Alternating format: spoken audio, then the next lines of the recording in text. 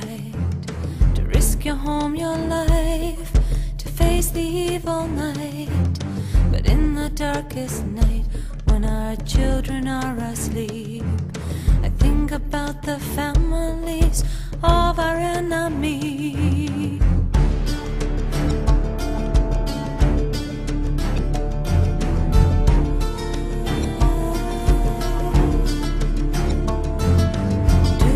The same?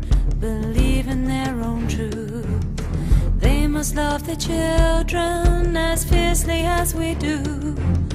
We all share one thing, our hearts were given from above. And the only thing worth fighting for in this world is love.